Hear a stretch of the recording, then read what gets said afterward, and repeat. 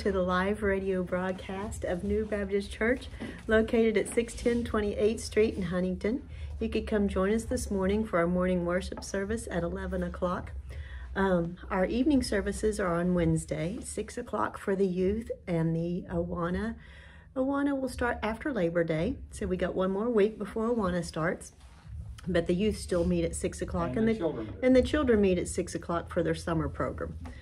Um, even though school's already started, we just go summer program until it's time for Awana. And uh, youth Bible, adult Bible studies start at 6.30. Uh, will you join us as Jim leads us in prayer? Thank you and good morning. Let us pray. Our Father and our God, we thank you so much for your Son Jesus. Lord, He is the honey in the rock, as the song says. He is our everything. Lord, help us to um, praise Him and give honor and glory. We thank you for your Holy Spirit that uh, you point the direction to Him and not on the Holy Spirit itself, but on, on your Son Jesus.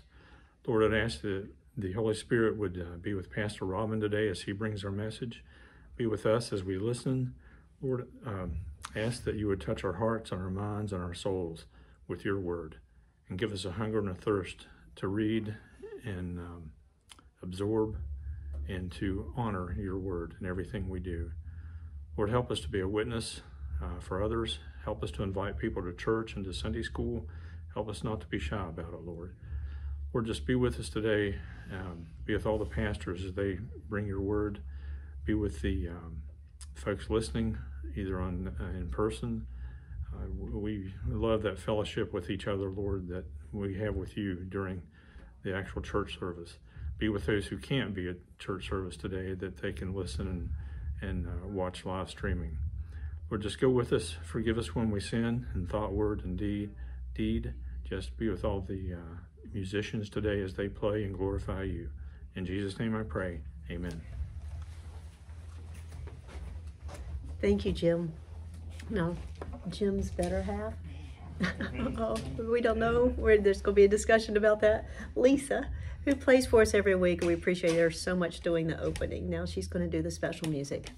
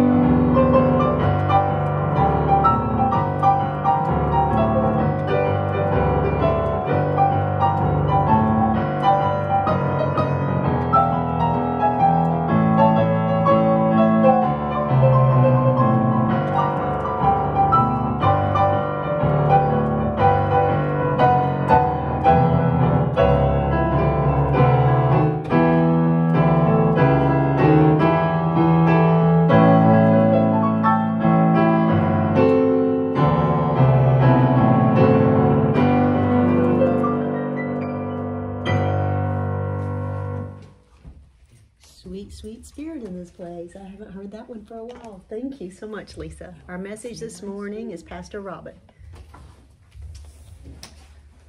Oh, uh, let me add my welcome to you and say how glad we are that you've joined us here uh, at the at New Baptist at the Radio Bible class. And my guess is, from week to week, you did not know that uh, He Lives can be played in so many different styles. Uh, and uh, I want you to know I appreciate Lisa and what she brings. I said even before uh, we got on the radio today, she was giving us a little Hebrew uh, feel to that song, and and then she, she just plays, and we certainly appreciate that. Uh, again, uh, you're welcome, and uh, let me invite you if you're not part of a local congregation, if you're looking for a church home, we are at 610 28th Street. That's uh, off of Fifth Avenue, and it's the old skating rink uh, there across from east of, from what used to be Huntington East High School. but we would invite you to come Sunday morning at 11 o'clock. We have our worship service, and that is also live streamed, and you can get a uh, a link to that on our church website at newbaptistchurch.com. We really are glad that you are with us today. And this morning we are continuing the series of lessons that uh, where we've been taking just the lives of some different people in the scripture and saying, what can we learn from certain events uh, in their lives? And today uh, we're going to look at the life of uh, the Apostle Paul, or at least a little bit of it. Uh, but as we begin, let me ask you a question. What do you do when it seems the Lord is changing your plans? When you plan to do one thing and the Lord decides you're to do something else? How do you know it's the Lord and not the evil one just trying to tempt you away from what the Lord really wants? Well, those are questions and issues we live with every day, isn't it? If you have your copy of God's Word, turn with me to Acts chapter 15. Uh, and we're going to read in from 15, the end of 15 into 16, and, and see uh, how Paul handled that particular kind of a situation. Starting in verse 36 of chapter 15 of Acts, uh, Luke, the historian, writes it this way After some days, Paul said to Barnabas, now they finished their first missionary journey. Paul said to Barnabas, Let us return and visit the brothers in every city where we proclaim the word of the Lord and see how they are. Now Barnabas wanted to take with them John called Mark, but Paul thought best not to take uh, with them one who had withdrawn from them in Pamphylia and had not gone with them to the work. Let me rephrase that. Paul didn't want to take John Mark with him because John Mark had tubed out on him on the first missionary journey. He had wimped out and went home. And there arose, starting in verse 39, a sharp disagreement so that they separated from one another. Barnabas took Mark and sailed away to Cyprus. But Paul chose Silas and departed having been commended by the brothers to the grace of the Lord. And he went through Syria and Cilicia, strengthening the churches. Starting in chapter 16. Paul also came to Derbe and to Lystra. A disciple was there named Timothy, the son of a Jewish woman who was a believer, but his father was a Greek. He was well spoken of by the brothers in Lystra and Iconium. Paul wanted Timothy to accompany him, and he took him and circumcised him because of the Jews who were in those places, for they all knew that his father was a Greek. And they went on their way through the cities. They delivered to them uh, for observance the decisions that had been reached by the apostles and elders who were in Jerusalem. So the churches were strengthened in their faith, and they increased in numbers daily. And they went uh, through the region of Phrygia and Galatia having been forbidden by the Holy Spirit to speak the word in Asia. And when they had come up to Mysia, they attempted to go to Bithynia, but the Spirit of Jesus did not allow them. So passing through Mysia, they went down to Troas, and a vision appeared to Paul in the night. A man of Macedonia was standing there, urging him and saying, Come over to Macedonia and help us. And Paul had seen the vision, when Paul had seen the vision, immediately he sought to go on into Macedonia, concluding that God had called us to preach the gospel to them. Pray with me. Father, I give you thanks for your word, and I thank you for events in the lives of people uh, in the scriptures that can teach us lessons. And I pray, Lord, that we would learn lessons today about how to trust you to lead us. Now, Lord, I, I thank you I pray you'd open our spiritual eyes and ears to see and to hear what you have for us as individuals. But also, Lord, you'd open our heart to understand it. And then, God, give us courage in our wills to obey you. Now, do your work in us. We pray this in Jesus' name.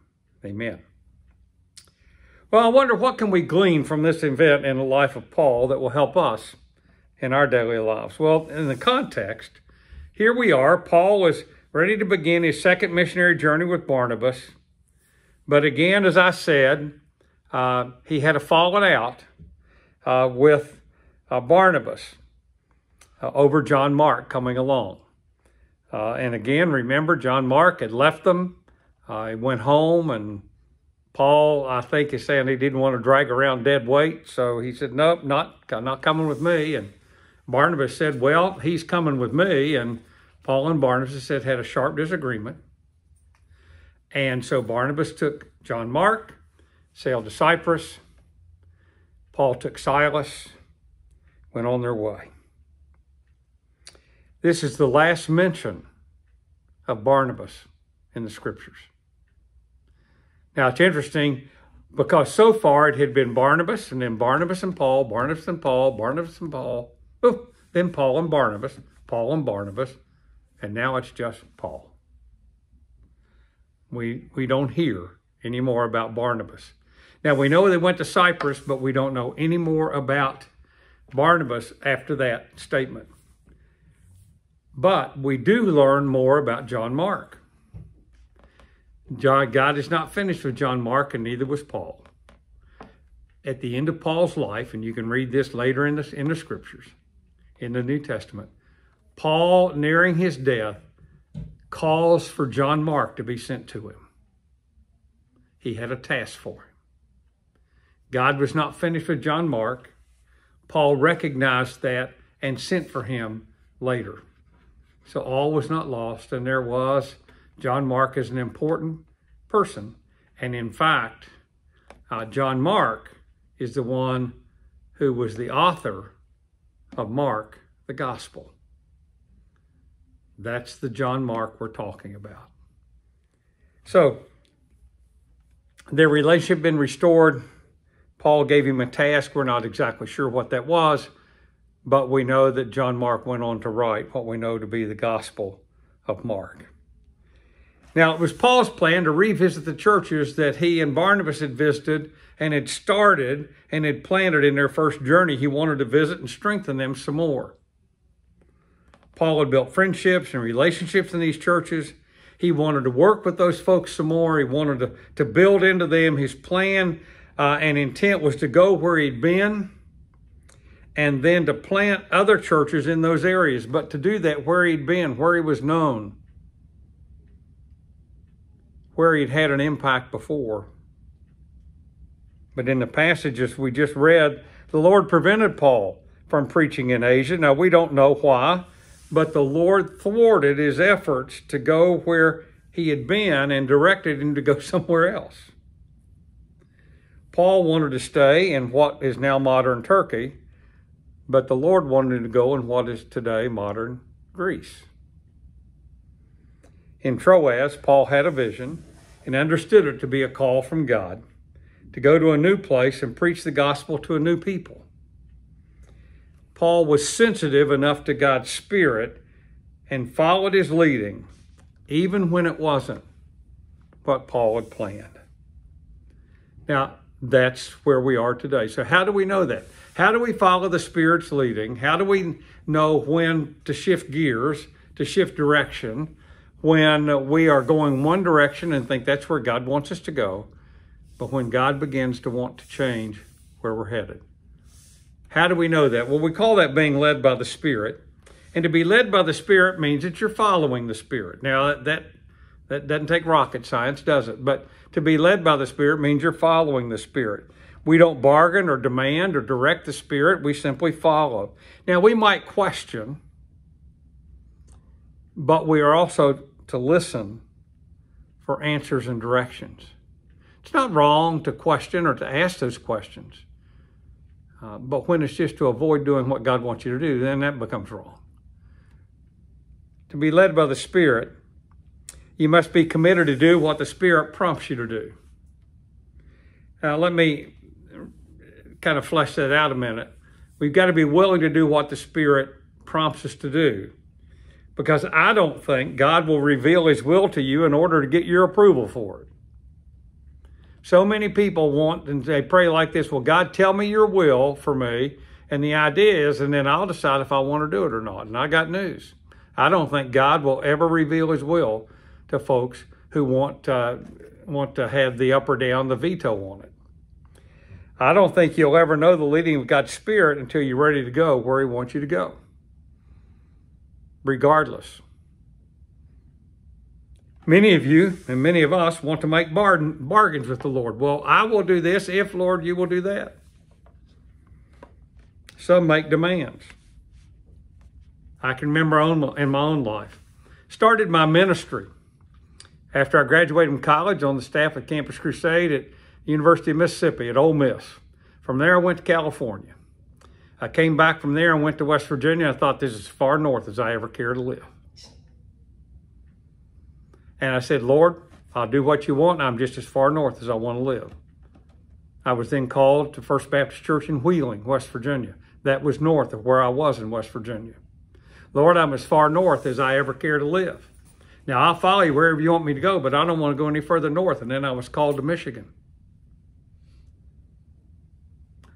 I, I decided I wasn't going to pray that no more north stuff because I figured the next one was Canada or Alaska uh, or the Arctic Circle. So uh, I just quit praying that way. Now, I laugh at that, and, and you may too, but you see how we say those things and we try to bargain with God and we try to say, Well, God, if you will, I will. And His will is not that way. His will is not that way. To walk in the Spirit means you trust the Lord to guide your steps. Remember, Moses was called to lead the people, a troubled people, out of slavery to the promised land. Their journey took a strange turn, and Moses led them through the wilderness for 40 years. But as they approached the promised land, God told Moses he had a different leader that was going to lead them into the promised land. Moses could see it, but he couldn't enter it. Now, that's a whole another story for another day. But he called Joshua. Joshua would be the leader to lead the people. And in Joshua, the first chapter of Joshua, the book of Joshua, we read this verse. Uh, now, this is the Crouch translation. Josh, my man Moses is dead. And you're the man now. Everywhere the sole of your foot steps, I have given that land to you. Did you catch that? Joshua, you're the leader now. And everywhere the sole of your footsteps, I've given that land to you.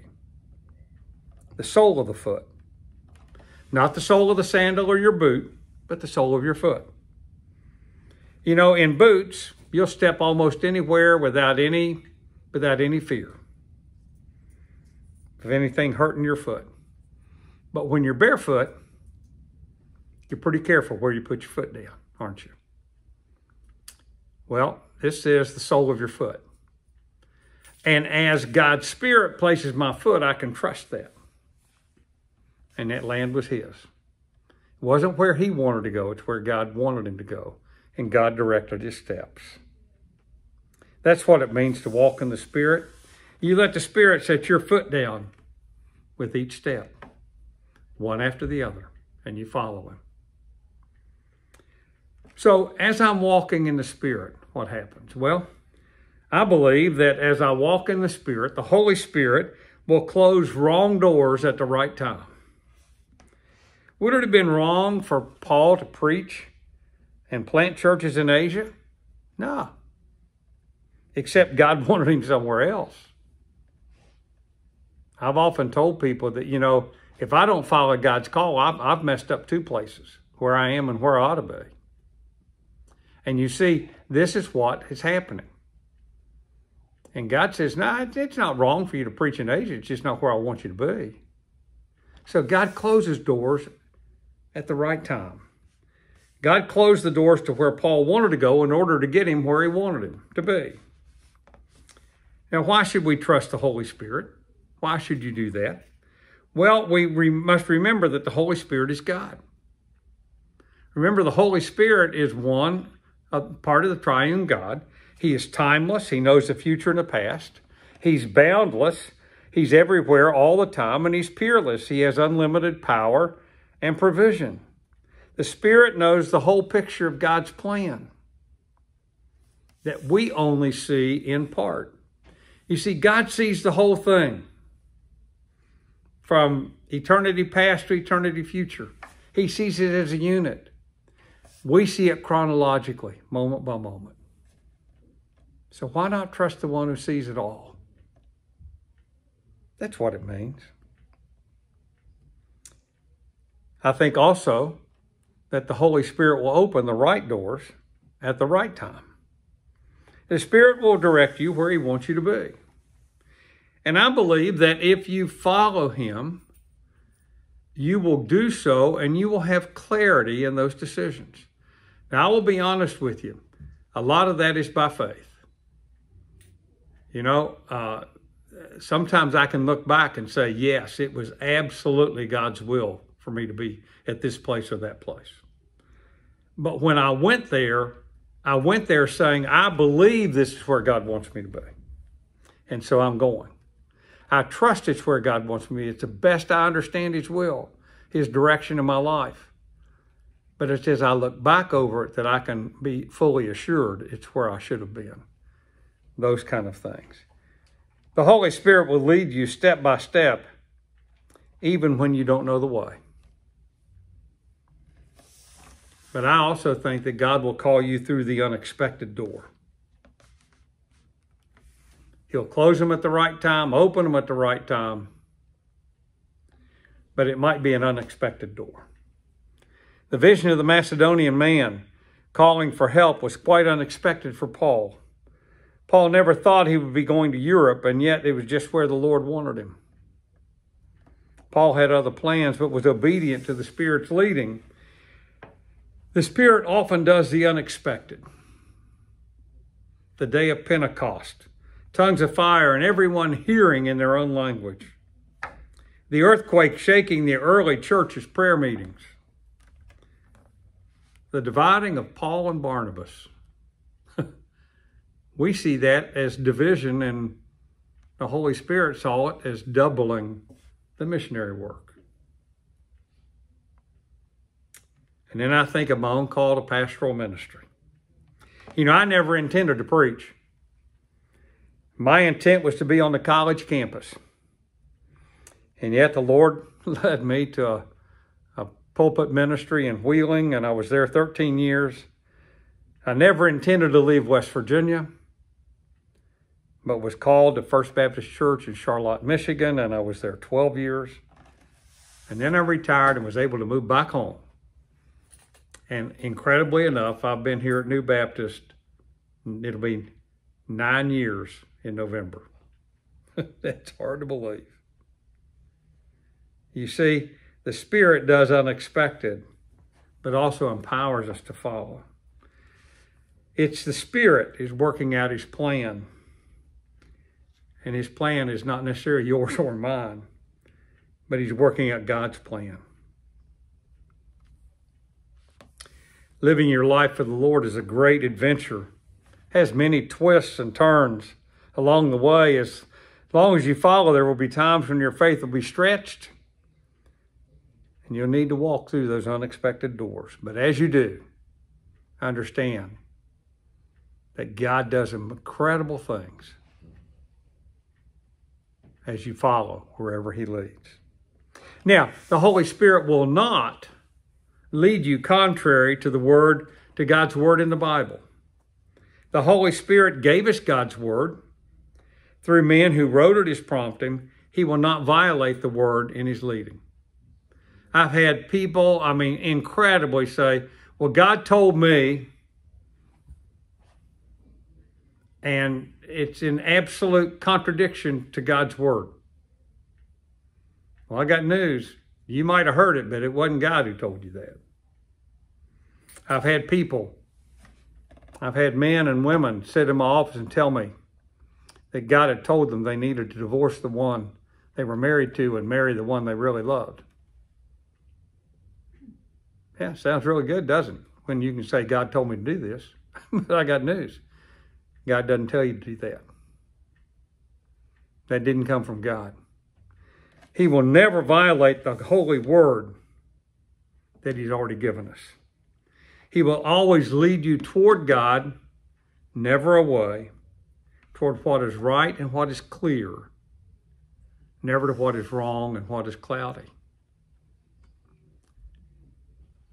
He will never lead you contrary to the perfect word He's given. So, what about God's will in your life? Well, I will tell you this it's better than you could ever imagine. Truth is, I thought nothing could ever be any better than campus ministry. How exciting is it to be in the academic community? And the people who come to your group, they want to be there. It's not like church where some are brought. You know, some guys come only because the woman they're with tells them they won't kiss them if they don't go to church with them. Uh, you got all kinds of people who come. Uh, but boy, in campus, in college, they only come if they want to. That, that's a highly motivated congregation, group of people. But then God took me to the pulpit ministry, to a church as a pastor. But my life has been blessed by that calling. I never thought I'd move. If I, I thought if I ever moved, it'd be to another church in West Virginia when I was here. And here we were known and respected for our ministries. Becky and I never expected, considered, never even let, considered leaving West Virginia because it's where my wife also had her ministry. She was on our West Virginia Baptist Convention staff and golly, we but eh, from the day we got married, we wanted to serve on a church staff together, and it just wasn't happening here. And then, out of the blue, Michigan, an unexpected call. But I can tell you that God's will is always better than you expect. We had no idea how blessed we would be for the 12 years we had in Michigan. It's not always easy or pleasant. You know that Macedonian caller for Paul? he might have been that jailer. It's where Paul and Silas ended up. God's call led them to jail in troubled times.